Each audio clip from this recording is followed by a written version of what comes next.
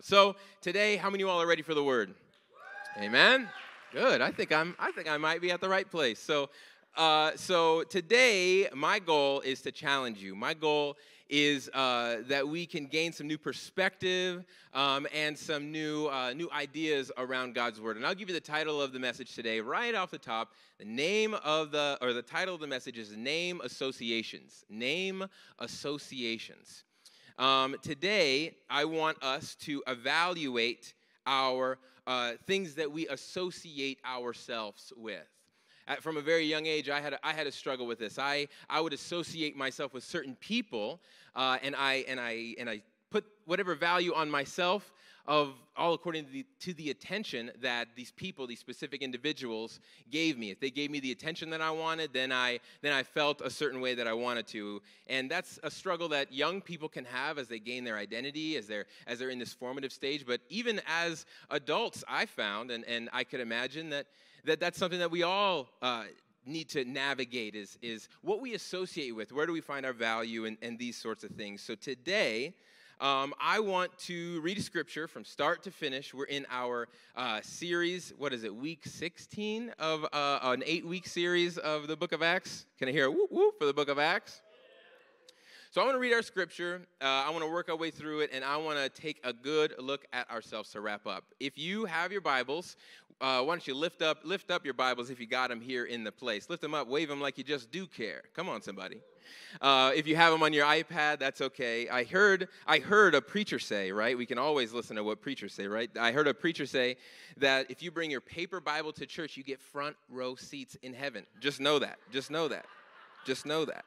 No, whether your Bible, uh, whether you flip it or turn it on, turn to uh, Acts chapter 19, and we are going to get into God's Word this morning. I'm super excited. Name associations is uh, the title of the message today. We are going to look at Acts chapter 19 and we're going to look at verse 1 verses 1 through 20 crazy story of paul in ephesus paul in ephesus. Uh, we're going to we're going to dive right in and then we're going to we're going to pray. How's that sound? Does that sound good with you all? Do i got some jesus people? Do i got some some bible people here? We're going to look at this. So the story of paul in ephesus goes like this. And it happened that while apollos was at corinth Paul passed through the inland country and became and came to Ephesus. Everybody say Ephesus. There he found some disciples, and he said to them, "Did you receive the Holy Spirit when you believed?" And they said, "This is so interesting. No, we have not even heard that there is a Holy Spirit." And he said to them, "Into then what were you baptized?" And they said, "Into John's baptism." And Paul said, John baptized with the baptism of repentance, telling the people to believe in the one who is who was to come and after him, that is Jesus. On hearing this, they were baptized in the name of the Lord Jesus, and when Paul laid his hands on them, the Holy Spirit came on them. They began speaking in tongues, prophesying. There were about 12 men in all. Uh, and then, skipping down to verse 11, uh, it reads this and God was doing extraordinary miracles. Somebody say, extraordinary miracles by the hands of Paul. So that even the handkerchiefs or the aprons that touched his skin were carried away to the sick, and their diseases left them, and the evil spirits came out of them. And some of the itinerant Jews, exorcists, undertook and invoked the name of the Lord Jesus over those who had evil spirits, saying, I adjure you by the Jesus whom Paul proclaims, uh, and, uh, and so on and so on. Seven sons of a Jewish high priest named Sceva. Somebody say Sceva. That's an interesting name. You don't see that on babiesnames.com these days, but interesting.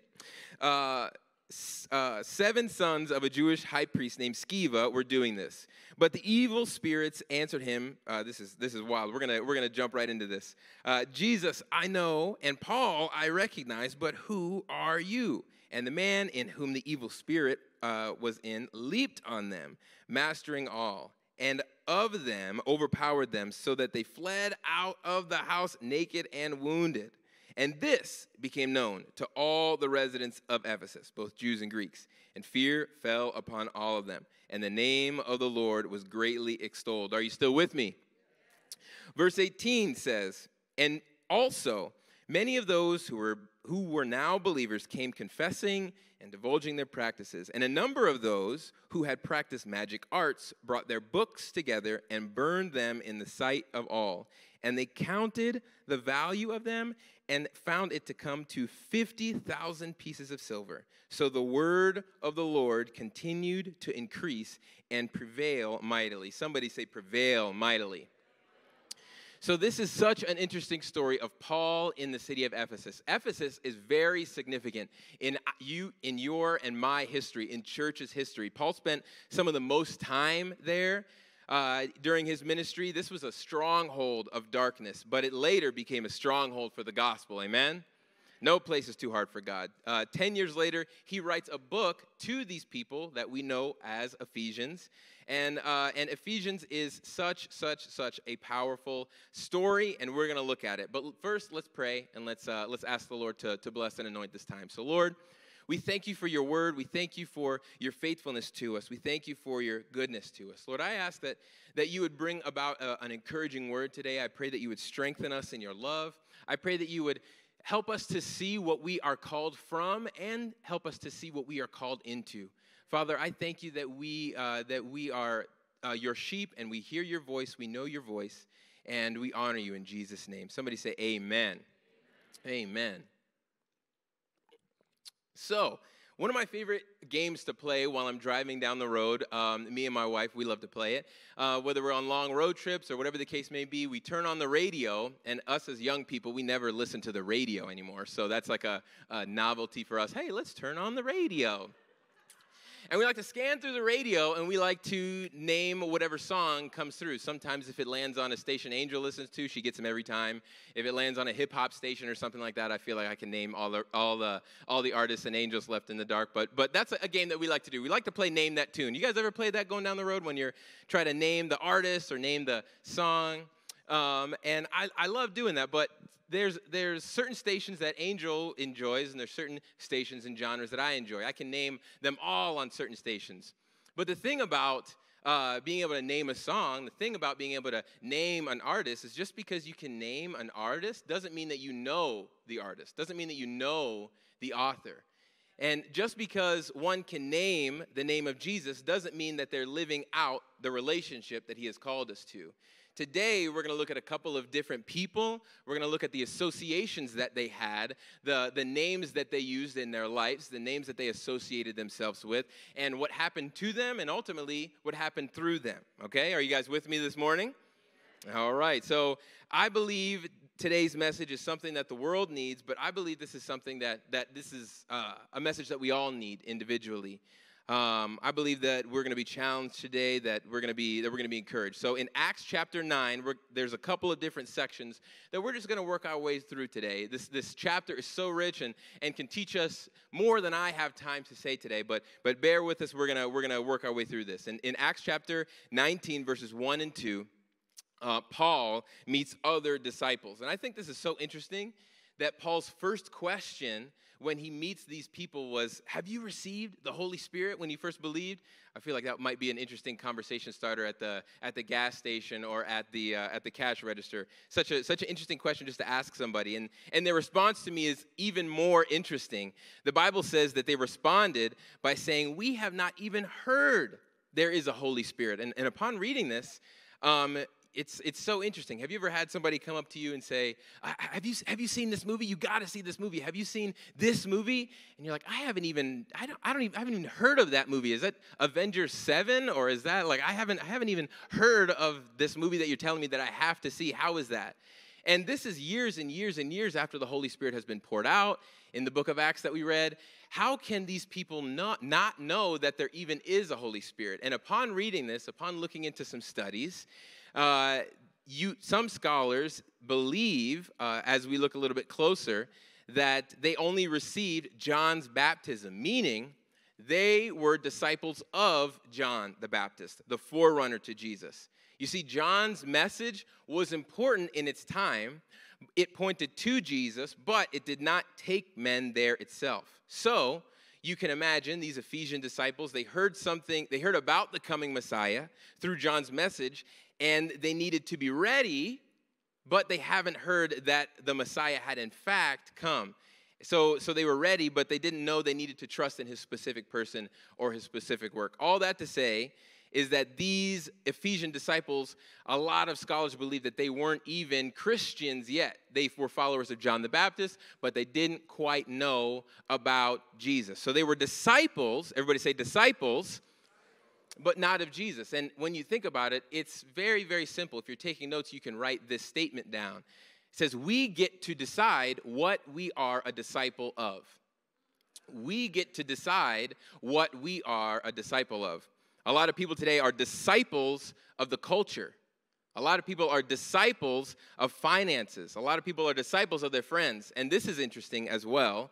The Lord uh, just dropped this in my heart. A lot of people in the world today are disciples of more than being disciples of Jesus, they're disciples of church.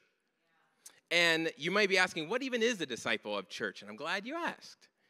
Uh, I'm glad you asked because, first off, it gives me an opportunity to say how much I love the local church. I believe the local church is God is the hope of the world. I believe that gatherings of people, whether they're in a building like this or a living room, I believe that the local church is the hope of the world. I love everything about church. I love showing up. I love I love hugging on people. I love being together. Um, but I, uh, I know that external behaviors, rhythms, and weekly routines can never do for us what revelation, relationship with a man, Jesus, can do for us. Amen? Which is transform us from the inside out. God never wants us to simply adopt rhythms and behaviors and routines. He wants to transform us and change us from the inside out. Amen? So, so these, these men weren't immoral, they were just associated.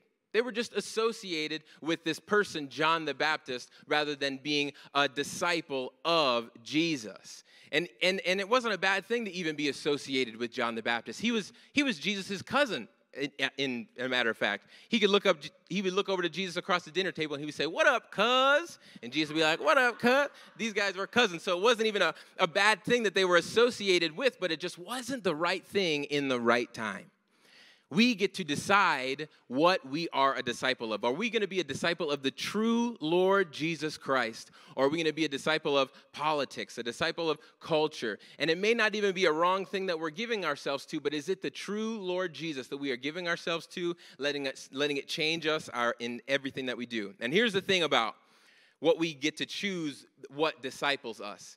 They were only associated with God um, and when we're only associated with God, we miss out on the power and the presence of God. Somebody say power. power. Somebody say presence. You see, God has power that works in us, and God has power that works out of us. Amen? Whenever we're just associated with, with church activities, which are, which are great, I love church activities. I'm on a team help planning church activities. When we're just associated with these things, we miss out on the power and the presence that God has for us as individuals. God's grace uh, is, is his power, and God's grace works both inside of us to help, re- to help redeem some of, the, some of the sinful things about ourselves, some of the things that he's wanting to, to put off of us, and God's grace works through us so that we can be a conduit of God's power. We don't get to be a conduit of God's power if we're just associated with church. But whenever we adopt uh, this, this new mindset of being a true disciple of Jesus rather than church activities, uh, we, we receive God's power to work in us and to work through us. And the truth I know about God is that He always wants to take us deeper. Somebody say deeper. Here's a quote uh, that I found today, or that I found this week for, for us today. It says, God always wants to go deeper. We tend to sip where we could drink deeply. We tend to drink deeply where we can wade in and we wade in where we could plunge in and swim. Most of us need to be encouraged to go deeper and farther into the things of the Holy Spirit. Amen? The truth about God is that you can have as much of God as you want. As well, you, you can have as much of God as you want, but you can only have as much as you want. God's not, a, God's not a man that he would force himself on you, that he would cause you to fall down on the ground and, and have this crazy experience that you're not ready for. But you can have as much of God as you want in your daily life, at your coffee table, at your, in, your, in your bedroom when you wake up and go to sleep, in your car. You can have as much of God as, as you want. And I have to give to these disciples, they had the right heart, but they were just associated with the wrong name and and they were ready and open to receive Jesus. I got to give credit to Tiffany Baraboo. I'm not sure if she's watching. She was she served with us here at Lighthouse for a time. She said this and it stuck with me, and I believe it'll, it'll stick with me for a long time. I heard from her uh, that she doesn't refer to people as believers and unbelievers. Uh, she refers to them as believers and pre-believers.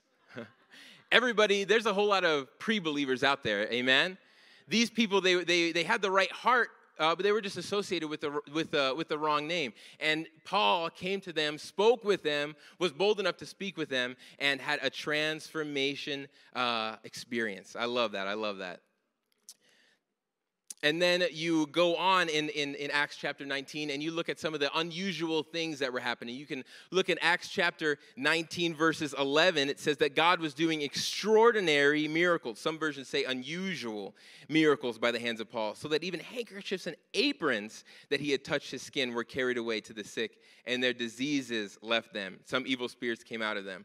I think that is, that is so, so crazy. And earlier in the book of Acts, we read about how Peter's shadow heals people, how he walked by people and, and his shadow healed people. I, I had this total random thought this week. I, I said, I wonder if whenever the sun was completely above him, and it was like noon if like nobody got healed and like whenever it was sunset or sun like everybody to the left of him got healed and then sunset everybody on the right of him got healed. I don't i don't know how it was but but maybe it was just because the, the anointing that was on him he got so close to him but god was doing unusual things in this time.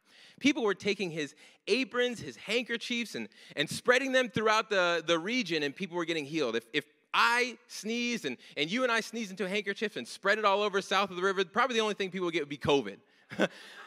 but but Paul's handkerchiefs and aprons, they were spreading them, and God was doing these amazing things. It was so crazy. Uh, so uh, here's the thing. Uh, that was that was what I like to call some holy laundry. some of you guys out there, your wife do laundry and say that you have some holy laundry, but that's for a completely different reason. Sorry. here's what I need. Here's what I need you to know about this: is that God it says that God worked these unusual miracles, not Paul. You see, God works miracles, not us. Amen? So there's no command in these scriptures for us to, to sneeze into a handkerchief and spread it around or to wave it over anybody's head. We're called to lay hands on the sick, and, and by faith, by God's grace, they are healed. Amen? God was working these extraordinary things. And, and I, I want you to know to not get caught up by replicating the past. Simply seek God now and be open to the unusual things that He wants to work now. Amen? Let God work through you. Don't try to work God. Let God work through you. Don't try to work God. And that's what you find the sons of Sceva fell into. The sons of Sceva is almost like this excerpt of these, of these, of these people, of these guys. Um, and we see in the story that uh, the sons of Sceva, say that five times fast, uh, these unusual things were, were happening and they, and they caught wind of them and they said, you know what might give us uh, a couple of more influence? You know what might be able to make us some more money? What might be able to get us some more clout? What might be able to get some new members or, or whatever, their, whatever their motives were? They said, you know what we're going to do? We're going to take what's, what God is doing over here and we're going to try to replicate it ourselves. You see, these people, they were using the right name, but they had the wrong heart. They were using the right name and they had the right heart. The Bible doesn't even talk about them being Christians or disciples of the way. They simply wanted to replicate the, word, the work of God. And more than being a disciple of Jesus, they were too busy. They were too busy being associated with the ministry. And ministry, you can write this down if you like. Ministry is not a method to be replicated, it is a man that we should have a relationship with, and his name is Jesus. Whenever we come here on a Sunday morning and we're getting ministered to and we feel the presence or we feel the anointing, that is Jesus. Whether it's Tom Scarella or Bill Goodwin or Paul or Evelyn or whoever stands in this pulpit, whenever we receive revelation and whenever we receive that peace of God, that, that, that, that rest for our souls, that is not a man, that is Jesus that we're experiencing too. And whenever we're praying over somebody, and whenever we get a, a random thought and somebody comes up and shares a dream or, or, uh, or, or, or an exhortation for us here at Lighthouse, that's not the person, that's Jesus wanting to speak to you. How many of you all are ready for what Jesus wants to speak to you in your life? Amen? That's Jesus. That's Jesus. Ministry is not a, not a method to be replicated, but it's a man that we should have a relationship with. So, uh, in Luke chapter 10, verse 17, it won't be on the screen, but you see how the disciples, uh, they came back from their missionary journeys and they were casting out demons and they were doing these things that maybe even the sons of Sceva wanted to do. And they said, Jesus, these, these demons, they, they, they listened to us. It was so crazy. They were recounting all the stories. But Jesus says, he said, guys, guys, guys, guys, come here, come here, come here. I don't want you to be excited about the, the works that are coming out of your hands, I want you to be more excited that your name is in the Lamb's book of life and you're my son and you're my children. Because if you get excited about the external work, you're going to miss out on the internal work that I have on the inside of you. Super important that we realize this today that ministry is not something that we should replicate, but it's a man that we should have a relationship with. And I want to check out uh, what happens after this. After the sons of Sceva takes place, and after these, these men who try to simply just replicate what God was doing, they tried to, uh, to operate in a, in a level of authority that they did not have. They tried to do things that they had no business doing. These men, uh, everybody and their mother heard about it, it said. Everybody heard about this embarrassing time. Everybody heard about this, this, this situation with the sons of Sceva. And when they heard about it, they gave more glory to God's name than before. In our world today, you see a lot of pastors fall and you see a lot of scandals. And I feel like almost every time you turn on the news, there's a, there's a leader that's doing something wrong. It's so it's such God's character that even in the midst of people's failure, Jesus' name is lifted up. Jesus' name is always going to be lifted up no matter uh, human frailties. And these people had a realization. They had a realization of, of these books and these charms and these trinkets that they had in their home was tied to these spiritual powers that they didn't want to have anything to do with. In verse, in verse 18 of, of chapter 19, it says also, many of those believers who were now who were new believers they came confessing and divulging their practices and a number of those who practiced magic arts brought their books together and burned them in the sight of all you see sometimes us as believers we receive a new name but we still have old associations sometimes we, we, we have a new name, but we have old associations. And, and what do we do with these associations? What do we do? Sometimes, whenever, whenever we become a Christian, I think the, the main thing that Jesus wants to speak to us is of identity. Sometimes, sometimes God just speaks that over me in different seasons, over and over and over again, so that I can be rooted in my identity. Because oftentimes, when I find myself struggling in certain areas or certain spaces, it's because I, I feel more comfortable doing the things that I once did rather than walking in a new way. But if I see myself in a, if I see myself as a righteous son of God, as pure, as holy, which is the most true thing about me, says Jesus, then I will walk in a brand new way. But it's so often to have a new name, but old associations. It pains me uh, that, that people walk in this and, and, and can't get set free of this because there is, there is power between you and a trusted friend, a trusted believer. There's power in confession. There's power in bringing things out into the open. There's power in, in speaking to your spouse, speaking to your husband or your wife or your, or your trusted friend about something that you're going through because your, your your secrets only have power as long as they stay in the dark. But as they come into the light, God can shine on it, and, and He never shines on us to expose us or, or, to, or, to, or to shame us. But as we bring it into the light, that's the only way that it can be healed.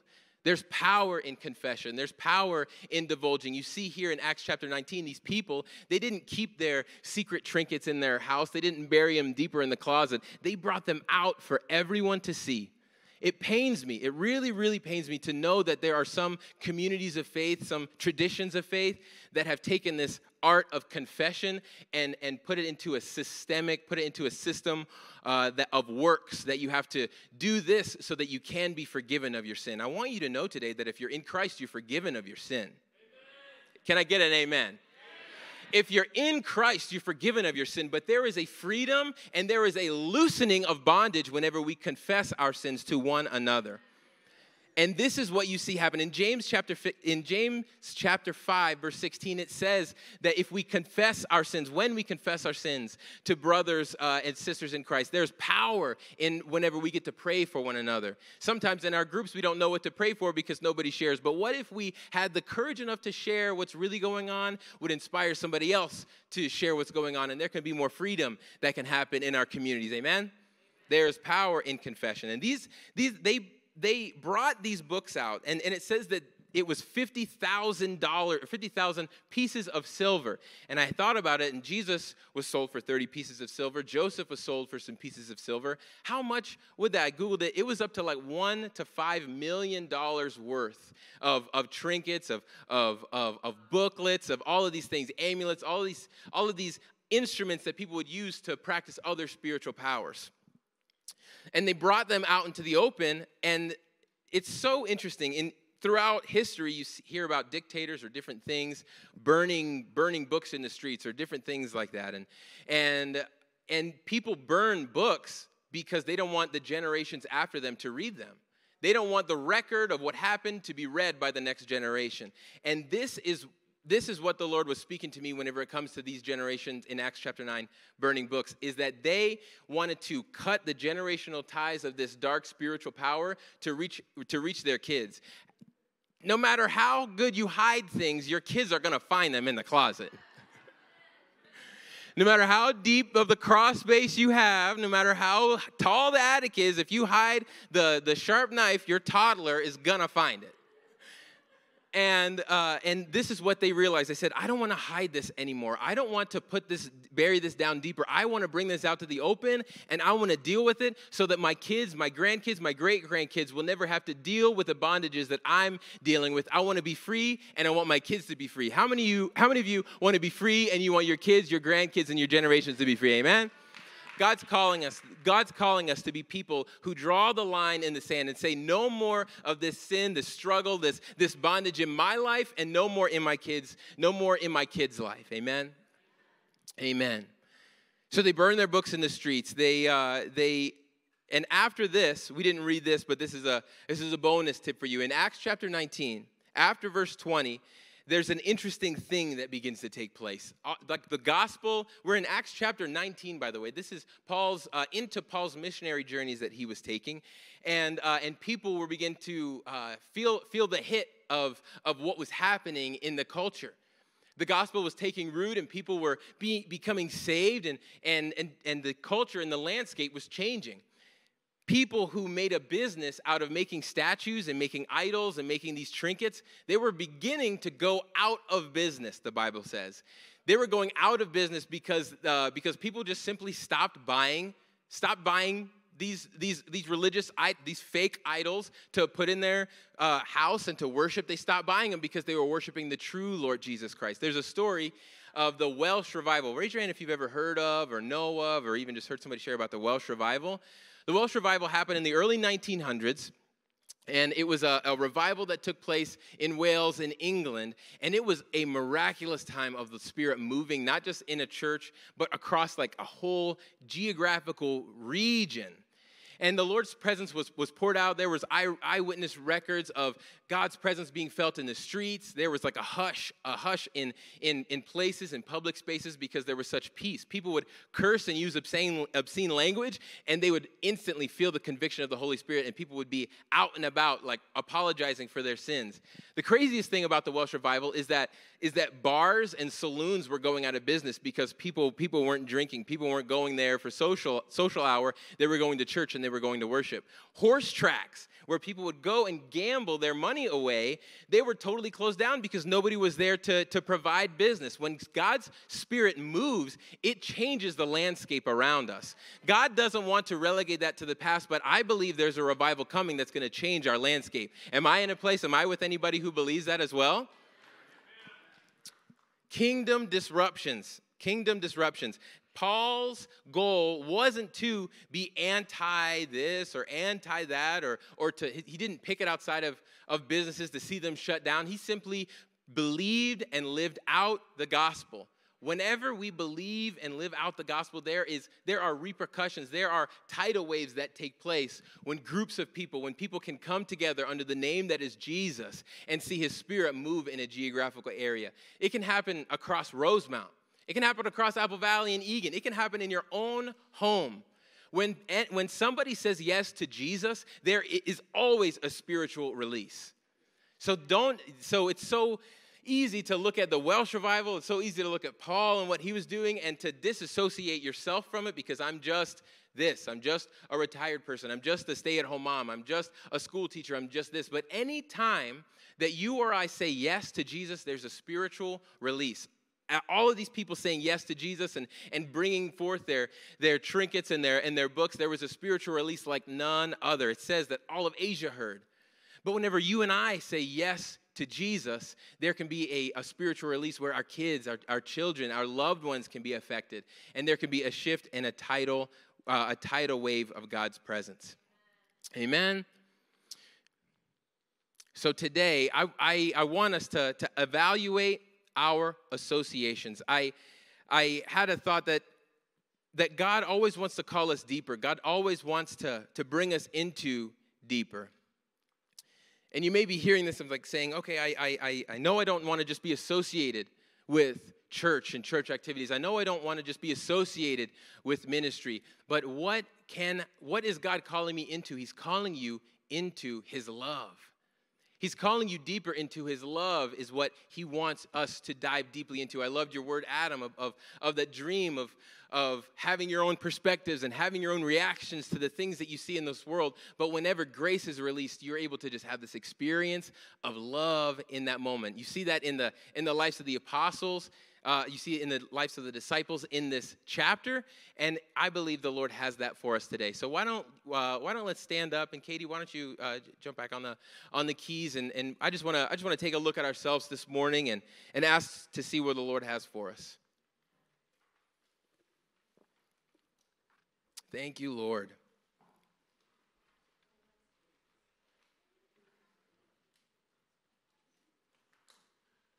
Thank you, Lord.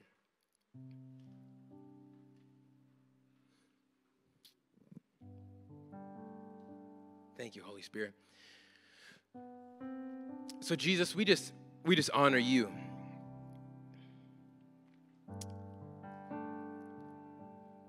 We thank you for your love. And we thank you that that your spirit moving in, in power and in might is not something that is relegated to the past, but it's something that you have for us individually here today.